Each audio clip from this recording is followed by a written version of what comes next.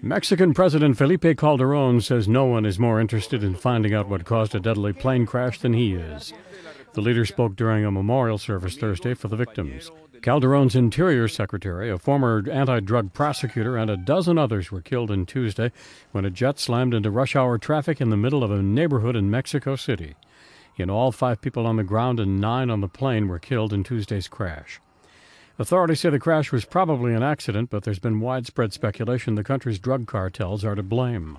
For the past two years, the Calderon administration has been trying to curb drug related murders and kidnappings, prompting assassination attempts on some of Mexico's officials. Two flight recorders have been recovered from the plane. They've been sent to the U.S. for analysis.